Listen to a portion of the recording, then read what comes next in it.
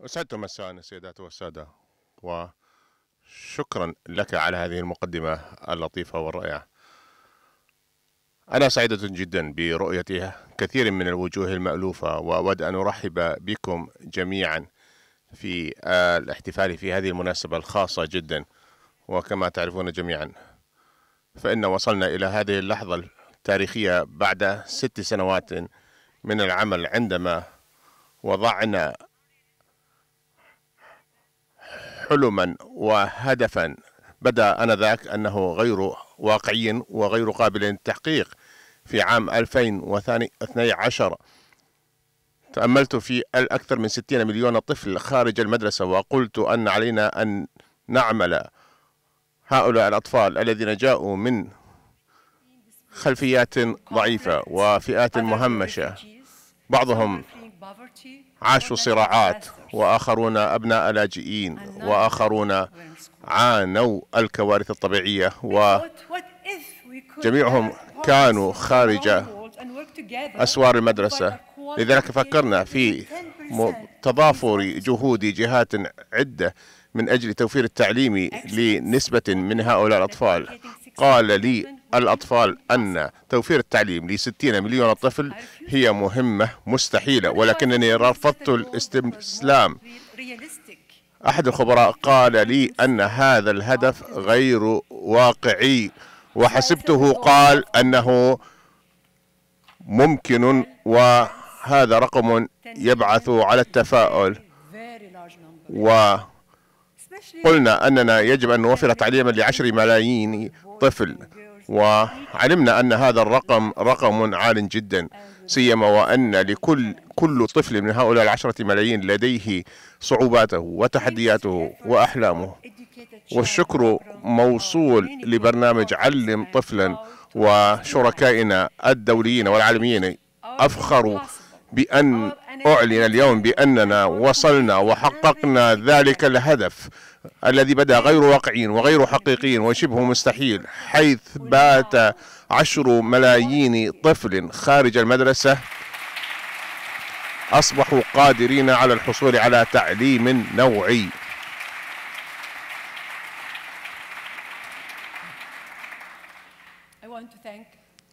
وأود أن أشكر جميع الحاضرين هنا جميعكم وجميع من ساعد على تحقيق هذا الهدف وهذا الحلم. وأود أن أشارككم أهمية هذا الإنجاز وما يعنيه في مبادرة علم طفلا نحن نؤمن بأن لكل طفل الحق في الحصول على التعليم النوعي. وجميعنا نتشارك الاعتقاد بأن التعليم هو حق أساسي من حقوق الحياة شأنه شأن الغذاء والمأوى وأن التعليم هو أهم أداة اخترعت لإطلاق الطاقات الكامنة لدى هؤلاء الأطفال. والآن نعم هنالك هدف يقول أن التعليم مهم ولكننا ولكن علينا أن نمهد الطريق. نعم. لكن علينا أن نولي الأولوية والاهتمام للطب وغيرها وهذا حقيقي. لكن أنا ممكن يمكنني أن أعطيكم عشرة ملايين سبب لمدى أهمية تعليم الأطفال اليوم. وبسبب ما حققناه وأنجزناه معا عشرة ملايين طفل أمامهم فرصة توسيع آفاقهم الفكرية. بعضهم قد ينتهي به المطاف في جامعات مرموقة مثل ييل وستانفورد وهارفارد. هؤلاء الأطفال الذين سيمتلكون المهارات التي من شأنها أن تساعدهم على الإسهام في تنمية وتعزيز مجتمعاتهم ومساعدة عائلاتهم وحتى توفير التعليم لأطفالهم وأبنائهم. وأنا أؤمن بأنهم قادرون على جعل العالم أفضل بالنسبة إلينا جميعا. السيدات والسادة أنا رأيت بأم عيني القدرة التحولية التي يحملها التعليم. رأيتها في بنغلاديش وفي فلسطين وقرقستان والبرازيل وتركيا. شهدت ورأيت مدار كيف بنيت المدارس من لا شيء. لقد استمعت إلى دروس لقنت تحت ظل الشجرة. ورأيت أطفالا يجيدون مهارات استخدام الكمبيوتر. وحتى رأيت أطفالا يقومون بحل واجباتهم المنزلية تحت أضواء الشموع. إن الرغبة هي أهم الأدوات الفاعلة لدى البشر ولكل طفل الرغبة في التعليم وهذه مسؤوليتنا جميعا.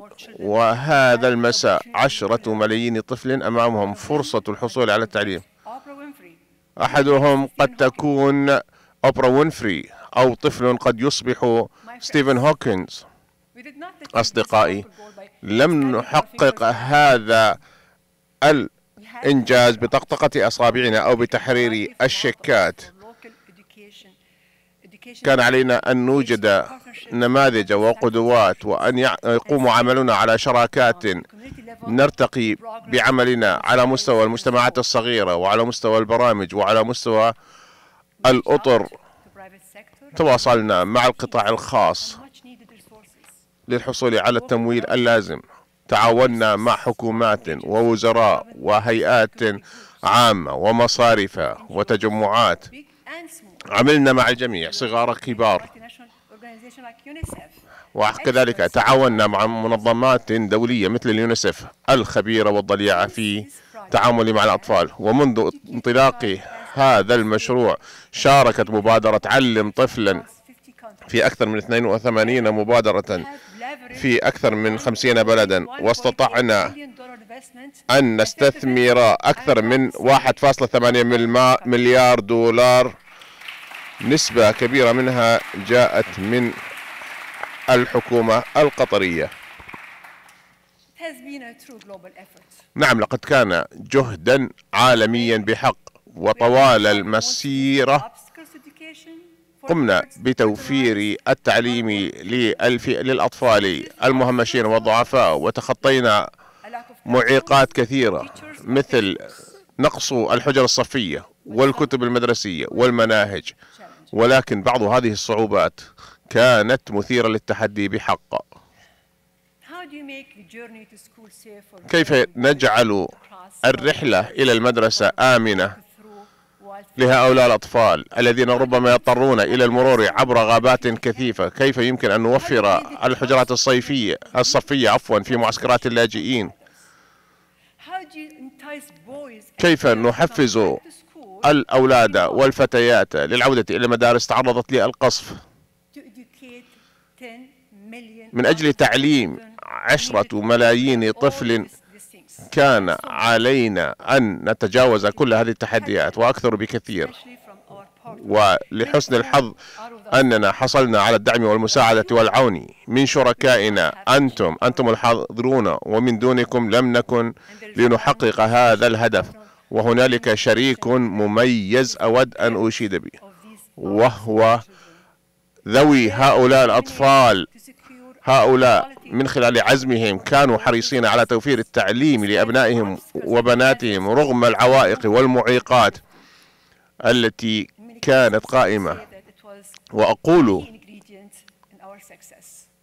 أنهم لعبوا دورا محوريا في نجاحنا. وخلال السنوات الخمس القادمة مبادرة علم طفلا ستتوسع في برامجها. وتخترق آفاقا جديدة. نبني على ما تعلمناه خلال السنوات الماضية. وفي المستقبل فإن جهودنا ستتطلب أكثر من الأموال والنوايا الحسنة. وعلينا أن نتذكر بأننا لم نصل إلى الهدف. فعدد الأطفال المتسربين من المدارس في ازدياد. لكن هذا ينبغي ألا يحبطنا أو يثبطنا عن السعي لتحقيق هدفنا. إن تعليم هؤلاء الأطفال يتطلب التزاما من الحكومات ومن القطاع الخاص ومن الأسرة الدولية برمتها. لنتحلى بالشجاعة والقوة والمثابرة. مبادرة علم طفلا وشركائها مهدوا الطريق. والآن حان الأوان لأن يضاعف الجميع جهودهم من أجل توفير التعليم لمن هم خارج المدارس. هنالك الملايين من الأطفال الذين ما زالوا ما زالوا بانتظار ويتلهفون إلى دعمنا ومساعدتنا. ونحن معا يجب أن نضمن لهم مستقبلا أفضل لهم. ولجميع من يؤمن بهذا الحلم والهدف أقول لكم أن هذا ممكن. والآن أرى مازن وفهد الذين يعملون معنا في مبادرتي أو في مؤسسة التعليم فوق الجميع. أقول لكم أننا لن نتوقف ولكن اليوم لنحتفي ونحتفل بإنجازاتنا وغدا نبدأ الرحلة الجديدة في مسيرتنا والتزامنا. شكرا لكم.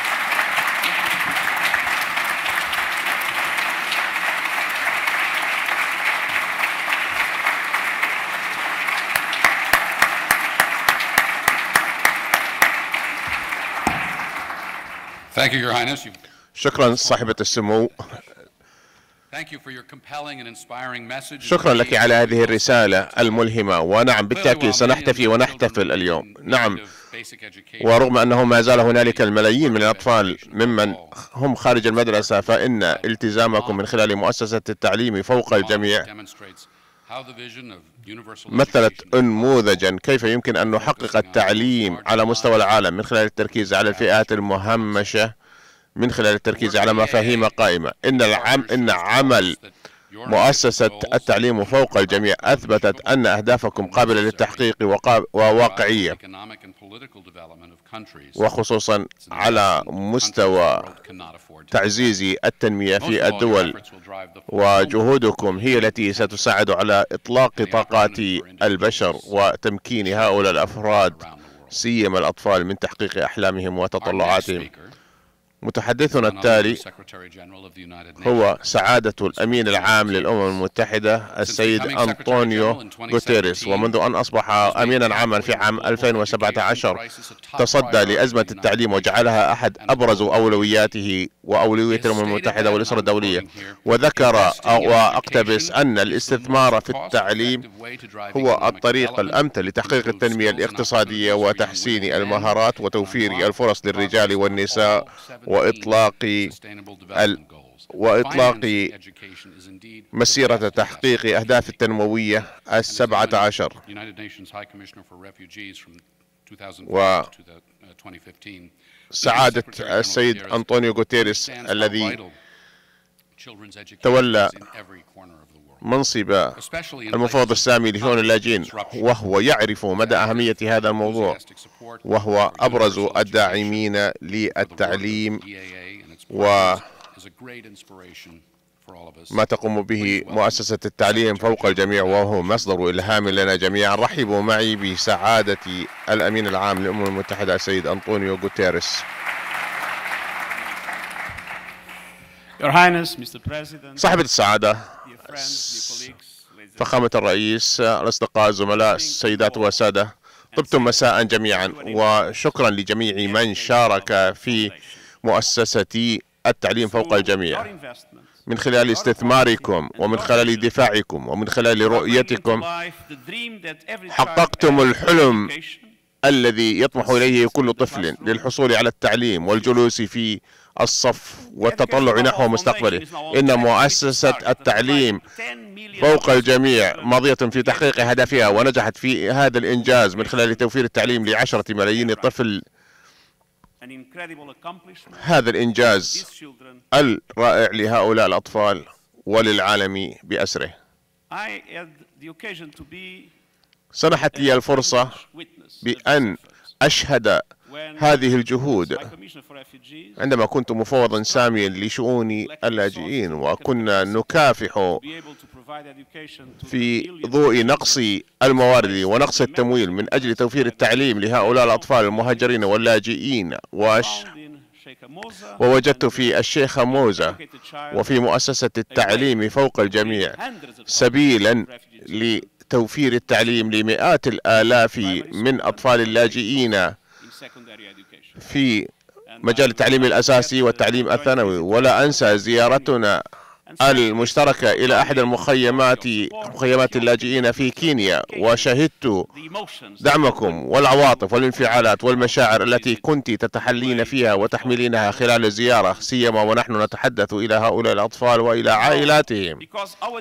واليوم ولأن هدف أهداف التنمية المستدامة لا يمكن أن تتحقق ما لم نوفر التعليم لهؤلاء الأطفال ولكن علينا أن نتذكر أن نيلسون مانديلا قال مقولة مشهورة بأن التعليم هو الأداة التي تساعدنا على تغيير العالم وأنا أشاطره الرأي. فنحن عندما نوفر التعليم للأطفال نمدهم بالكتب والقرطاسية وغيرها ولكن في الوقت نفسه نمدهم بالأحلام التي تمكنهم من تغيير العالم وما يمكنهم من جعل مجتمعاتهم أفضل وأكثر رخاء وأكثر سلما وأمانا خلال السنوات القادمة. وما من تعريف أفضل للتنمية المستدامة وأفضل وسيلة لتحقيق هذه الأهداف من تعليم كل الأطفال. وأنا أفخر ما تحقق من جهود من قبل اليونيسيف التي نتشرف بوجودها وكذلك اليونسكو وشركائنا الآخرين. ولكن من الواضح أنه على مستوى العالم لا يوجد تركيز كامل على موضوع التعميل وهنالك التعليم وهنالك نقص في التمويل. ولذلك أنا أثمن وأقدر ما تقوم به صاحبة السمو الشيخة موزة من خلال جهودها لتوفير التعليم. ونحن على مستوى الأسرة الدولية علينا أن نتصدى لبعض الحقائق المؤلمة. أولاها أن 63 مليون 63 مليون طفل ينبغي أن يلتحقوا بالتعليم الأساسي وهم خارج المدرسة. أيضا 150 مليون طفل غير قادرين على تعلم مهارات المهارات الأساسية.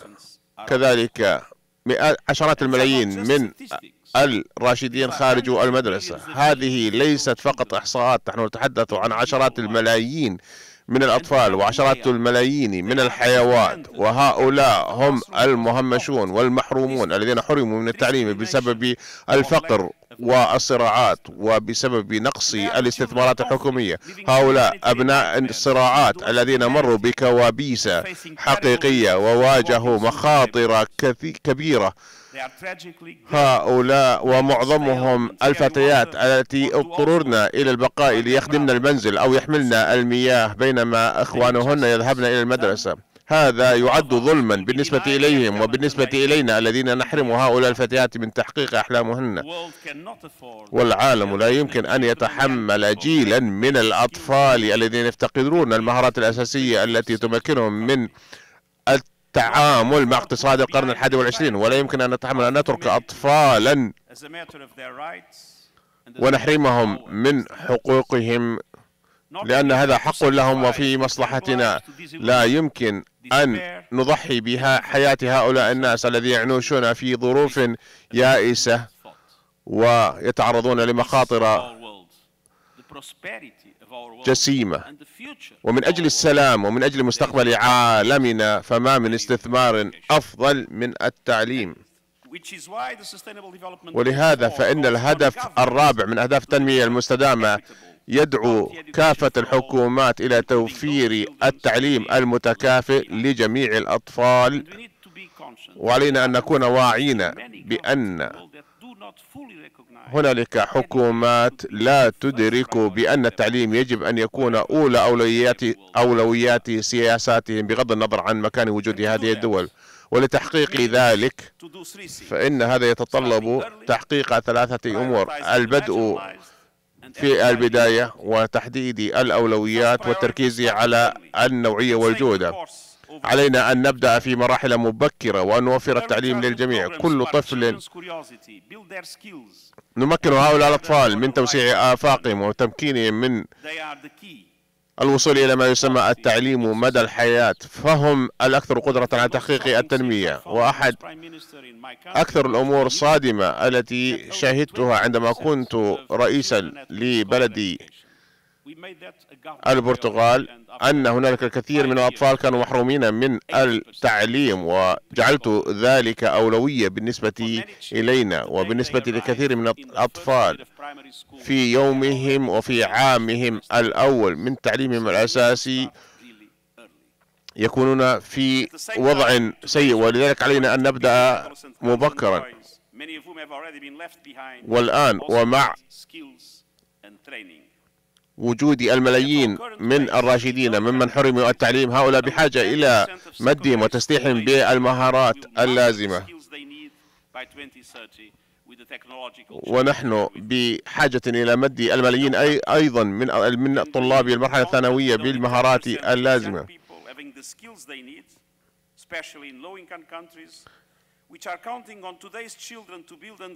الدول النامية تعول على هؤلاء الأطفال لأن ترفد اقتصاداتهم في المستقبل وتحقق التنمية فيها. الأولوية الثالثة هو أن نركز على الفئات المهمشة والضعيفة سيما هؤلاء الذين حرموا من التعليم بسبب الفقر والصراعات والنزاعات والتمييز والكوارث الطبيعية. وعلينا ألا نقصر جهودنا على الفئات التي يسهل الوصول إليها ولكن يجب أن نولي أهمية قصوى لهؤلاء البعيدين عن متناولنا والذين حرموا التعليم. وهذا الاحتفال يثبت لنا بأننا قادرون على الوصول إلى الأطفال وتعليمهم حتى لو كانوا في أسوأ الظروف وفي أبعد الأماكن. الهدف الثالث هو إبقاء هؤلاء الأطفال في المدارس حتى يكملوا دراستهم. وهذا يتطلب منا وجود ظروف تعليمية وبيئة تعليمية لازمة ولا يمكن أن نقبل أن يبقى 150 مليون طالب خارج نطاق المدرسة. بسبب قصور في جهودنا ومؤسسة التعليم فوق الجميع تقوم بدورها على أكمل وجه ولعل رؤيتكم صاحبة السمو ورؤية هذه المؤسسة يجعلنا قادرين على تحقيق الأمل أو العهد الذي قطعناه لكل طفل. أشكركم على التزامكم تجاه هؤلاء الأطفال لأن مستقبلهم هو مستقبلنا. وأن دعم أحلامهم اليوم يعد دعما لأحلامنا الهادفة إلى جعل العالم أكثر رخاء وأكثر سلاما للجميع وفي كل مكان. شكرا لكم.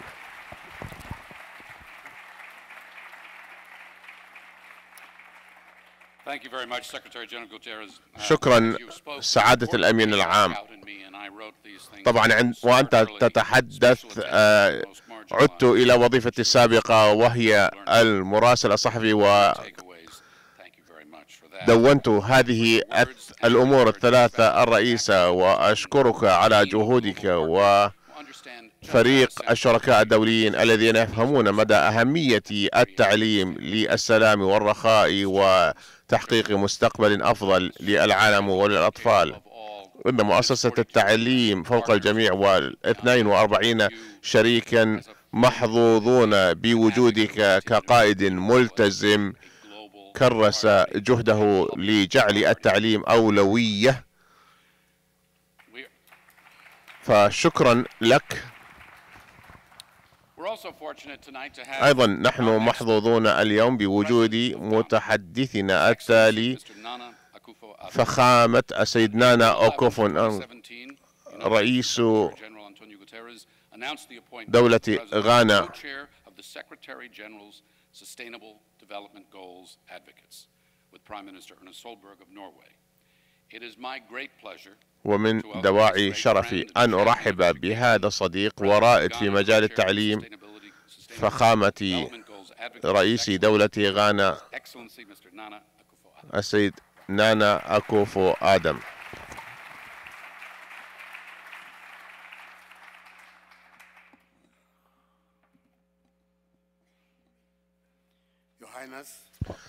صاحبة السمو الشيخة موزة بنت ناصر.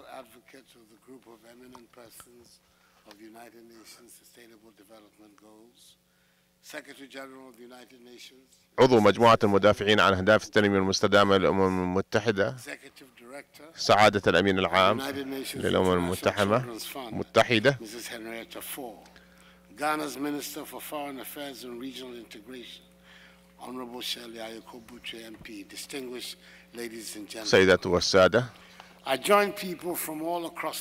أنا أنضم إلى شخصيات من كافة أنحاء العالم لنقدم التهنئة لصاحبة السمو الشيخة موزة بنت ناصر.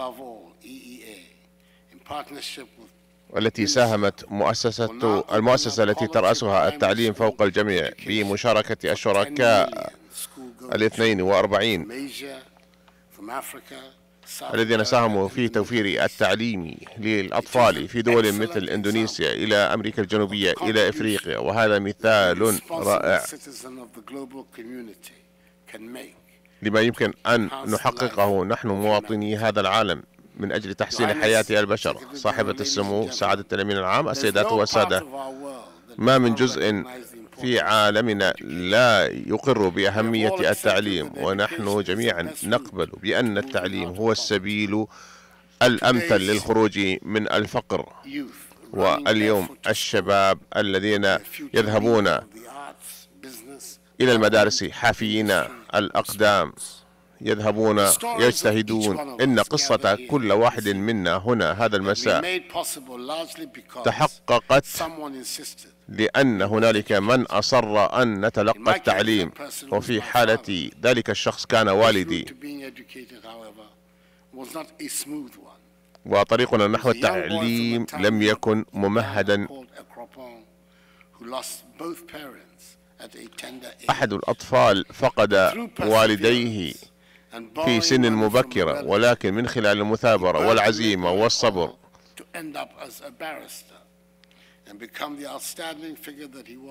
مضى في تعليمه إلى أن أصبح محاميا وقاضيا.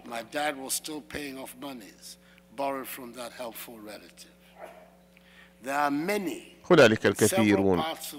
وفي أماكن عدة في العالم ممن تحاكي قصتهم قصة والدي والذي حرم من التعليم بسبب ضيق اليد وشح الموارد. نعم. هنالك 63 مليون طفل ما بين سن السادسة إلى الحادية عشرة خارج المدارس. ولعل منظمة التعليم فوق الجميع ومنظمة اليونيسيف قادرتان على جسر هذه الفجوة وقادرتان أيضا على تحقيق الهدف الرابع من أهداف التنمية المستدامة والذي يهدف إلى توفير التعليم الأساسي النوعي والشامل ويوفر فرصا أفضل للجميع. ونحن في غانا.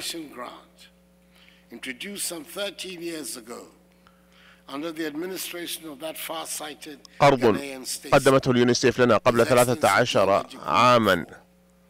The second president of Ghana's fourth republic is presently enabling 6 million ساعد الرئيس الثاني لدولة غانا في توفير التعليم.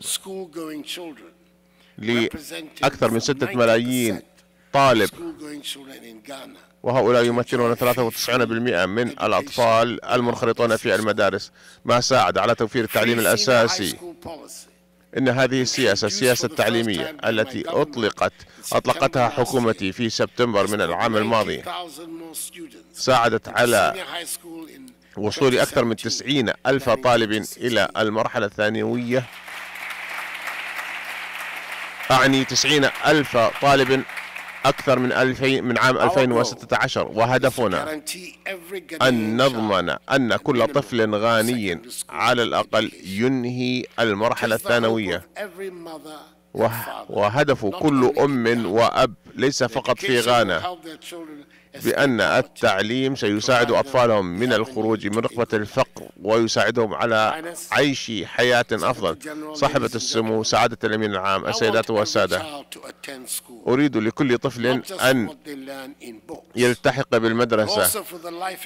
ويتعلم مما توفره الكتب وأيضا المعايشة الحياتية. أريد لكل طفل أن ينظر إلى المرآة كل صباح ويعرف أنه قادر على تحقيق كل حلم لديه عندما ينهي تعليمه ودراسته.